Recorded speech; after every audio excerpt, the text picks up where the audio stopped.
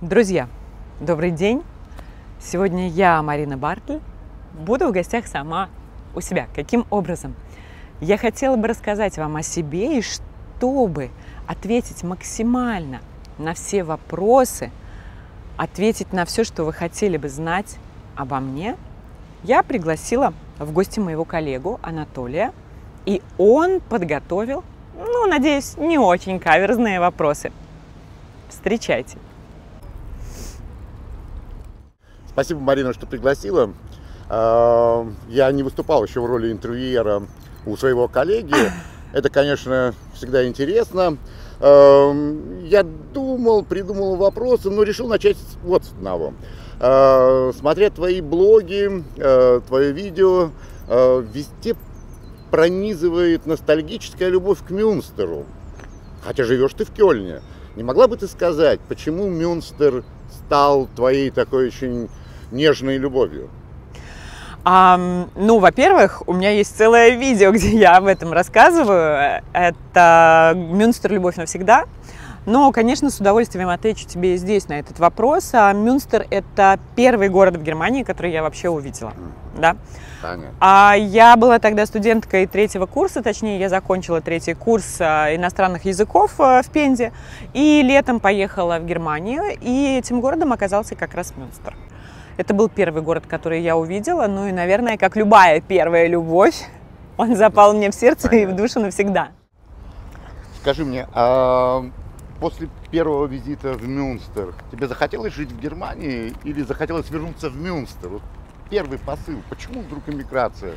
Девушки из Пензы, закончившие институт, ну, знаешь, это сейчас звучит так, иммиграция. На самом деле, я думаю, когда я ввязывалась в эту авантюру, я не понимала, что я останусь здесь так надолго. Конечно, после первого визита, это был 99-й год, да, то есть представляешь, что было в то время в России, и это действительно были такие очень смутные, скажем, времена. И я была студенткой, и, конечно, для меня Германия казалась чем-то таким золотым и невероятным. И я, вот насколько себя вспоминаю, кажется, да, была такая мысль переехать в Германию. Но я не собиралась броситься в омут, я планировала закончить университет, э, и что я, в общем-то, и сделала. Хорошо, с Мюнстером нам, наверное, понятно. Да, еще видео посмотрим, будет более ясно. Я понимаю, студенческий, потрясающий красоты город. Наверное, все взорвалось у молодой девушки. А как ты оказалась в Кёльне? Другой тогда вопрос. Почему не осталась в Мюнстере и оказалась в Кёльне? А, ну, после института я вернулась сначала в Мюнстер. И в Мюнстере я прожила 4 года. Я не сразу оказалась в Кёльне. А. Да. Может, присядем? Давай. Я не сразу оказалась в Кёльне, то есть я прожила 4 года в Мюнстере, я училась в Мюнстере на германистике, я подрабатывала, в общем, вела полноценную студенческую жизнь, скажем так, да. Вот, ну а затем э, я познакомилась со своим супругом. Ага, а он был из Кёльна? А он жил в Кёльне, да. Жил в Кёльне. И таким образом, в общем-то, очень простым, То есть я перебралась из Простой Мюнстера способ, как обычно. Любовь привела тебя в этот город. Именно, именно. Твои первые ощущения от Кёльна, когда ты стала там жить, а не приезжала туристкой? А, ну, конечно, для меня это было что-то невероятное. Кёльн для меня это была как другая галактика какая-то, да, то есть как столица, наверное, для многих в России Москва, для меня Кёльн действительно был чем-то большим и непостижимым. Ты влюбилась в этот город сразу или понадобилось время? Мне понадобилось время. Кёльн все-таки намного больше Мюнстера, и чтобы здесь освоиться и как-то вообще найти себя, мне понадобилось время, но Кёльн мне понравился. Скажи мне, а как германист с высшим образованием, академик, вдруг стал экскурсоводом? Ты знаешь, в моей жизни вообще очень много случайностей, и экскурсовод это тоже случайность, которая стала такой моей большой любовью. Я переехала в Кёльн, это был 2006 год, это был год, как ты помнишь, чемпионата, чемпионата мира, мира да. по футболу, и эм, случайно одной моей подруге не хватало рабочих рук и ног, ей нужен был сопровождающий в Мюнхене, и я отправилась сопровождать группу. И вот во время этого заказа я вспомнила о своей давней мечте стать экскурсоводом, и я ее осуществила в Кёльне. Я нашла курсы, пошла учиться, отучилась практически целый год, сдала экзамены и так начала работать. Помнишь свой первый день своего первого клиента? Волнение, страх, что? Um, волнение было немножечко, но на фоне того обучения, которое я прошла, мне кажется, любой клиент был не страшен. Дело в том, что моим преподавателем была, хотя и женщина-немка, у меня было такое ощущение, что она родом из СССР. То есть это было очень жесткое обучение, у нас было очень много эм, видеоконтроля, мы обсуждали все свои выступления, поэтому, подойдя к первой экскурсии, можно сказать, э, мне уже простых людей было не страшно. А помнишь, Марина, когда я как-то попросил тебя подменить меня э, с клиентами из города Николаев, и ты совершенно очумевшая закричала, это мои первые клиенты. Вот бывают же такие чудеса. Э, напомни мне эту историю. Да, это оказалась очень веселая история. И да, наверное, я слукавила, когда сказала, что я не волновалась, когда была моя первая экскурсия. Она была действительно волнительной, потому что это была группа из 20 с чем-то мужчинах было. В общем, это была большая такая компания. Это был пивной тур. И, ну, пивной тур, ты понимаешь, что такое, да? А, мы с группой ходим из пивной в пивное. И, в общем-то, слушать меня особо никто не хотел, потому что все пришли с выставки, и всем хотелось очень выпить пиво. Да, в общем, эта экскурсия меня, наверное, немножечко расстроила. Но через 10 лет, ровно через 10 лет, я была, конечно, удивлена, насколько тесен мир, снова встретив своего первого клиента. Да, это очень интересно. Марин, ты не только экскурсовод, ты турменеджер, но сейчас ты и блогер.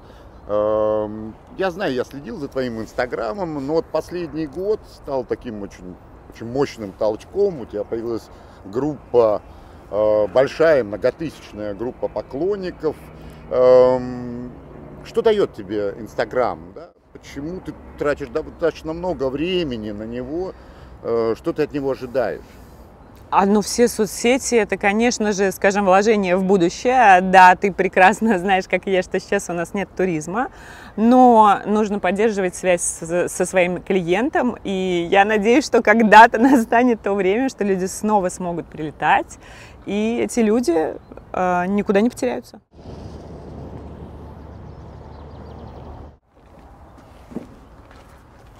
Скажи мне, ну, с Инстаграмом вроде мы немножко разобрались. Эм, у тебя большой прирост подписчиков за последнее время. Я постоянно ну, слежу. пойдет. Да, да, нет. Вот, но ты не остановилась на этом, и у тебя теперь новое увлечение, затея, я не знаю, как назвать твое желание снимать видео для YouTube канала. Эм, как ты к этому, почему ты к этому пришла? И что ты считаешь э, может позволить сделать YouTube, что не позволяет тебе э, работа в Инстаграме? Ну, знаешь, во-первых, нужно себя чем-то занять в наше нелегкое ну, время. Да, во-вторых, я давно мечтала о Ютубе, но я не решалась. И последним толчком стали курсы у известного блогера и коллеги тоже наши, гида из Стокгольма, Иры Стомберг. А, этот курс меня, в общем-то, мотивировал наконец-то открыть свой YouTube-канал для того, чтобы, опять же, расширить свою аудиторию и для того, чтобы после кризиса появились туристы. Кроме того, ты знаешь, хочется донести, что Германия тоже хороша и прекрасна для путешествий, что здесь есть что посмотреть и посетить. Я думаю, что ты знаешь, э, среди своих знакомых э, и друзей, и вообще клиентов наверняка присутствует такое мнение, что в Германии нечего смотреть, что Германия по сравнению с соседней Францией, Италией неинтересна вообще. А, поэтому хочется, ну, скажем, открыть глаза, что ли, немножечко народу и изменить э, взгляд на Германию. Скажи мне, Марина, эм, почти 15 лет работы с курсоводом, Э, наверняка заставили тебя там летать, ходить, ездить на поездах, на велосипедах, проводить экскурсии. Вот. Но последние годы ты еще очень активно плаваешь. Плаваешь на круизных... Ходишь, ходишь. Прошу прощения.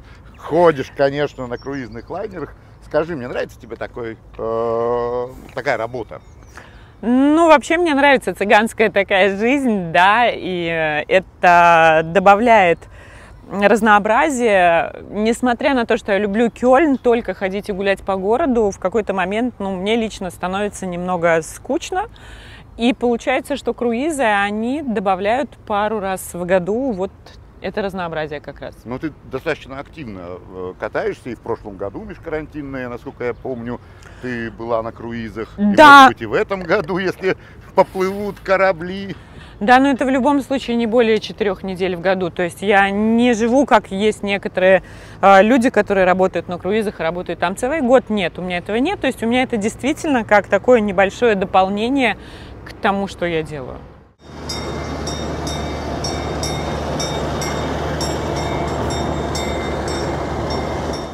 Марин, я понимаю, конечно, что экскурсии по Кёльну, наверное, ну, твоя короночка, твой любимый маршрут. А за пределами Кёльна, куда ты любишь ездить и возить своих клиентов? Ну, за пределами Кёльна, это, конечно же, Рейнская долина, а. это моя любовь после Кёльна. Во-первых, это очень красиво, это замки, это красивые места, плюс это великолепное вино, ага, прекрасные рислинги и а, отличные маршруты на погулять, то, что сегодня становится все более актуальным.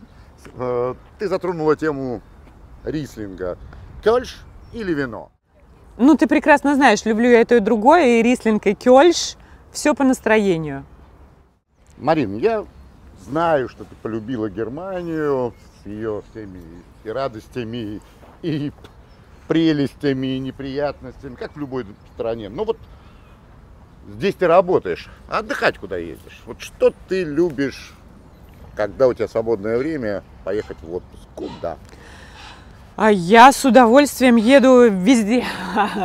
Все, что новое, я знакомлюсь со всем, я люблю просто путешествовать, да. А все зависит от того, сколько свободного времени у меня на это есть. С удовольствием езжу в Италию, люблю вот. Францию. Если это море, то в последние годы мне очень полюбился Кипр. Угу. А, но слишком мало на все времени. Хорошо. Еще у меня к тебе вопрос. Эм, э, я знаю, что ты родом из Пензы, э, что у тебя там остались родители. Как часто ты навещаешь дом? Как получается? А, последние годы я часто бываю в Пензе, с удовольствием езжу и вообще в Россию, и на малую родину, в частности, в Пензу тоже. Город меняется, город радует, и каждый приезд для меня, в общем-то, это как праздник. Марин, ну, мы с тобой э, в этот год прожили сложный в нашей профессиональной деятельности, но я думаю, ты тоже надеешься на то, что все как-нибудь образуется. Ну, конечно, надеюсь. Скажи мне, э, я знал, что ты готовила и новые разные маршруты, и новые предложения. Вот, можешь немного озвучить, что ты сейчас придумала для своих клиентов, когда они появятся у нас здесь? Ну, я очень надеюсь на то, что летом у нас будет внутренний туризм, и в соответствии с этим я подготовила, да, новые маршруты и новые экскурсии. Это по Кёльну, конечно же, кроме пешеходки, это велосипедный тур. К счастью, люди, которые живут в Германии, с удовольствием ездят на велосипедах.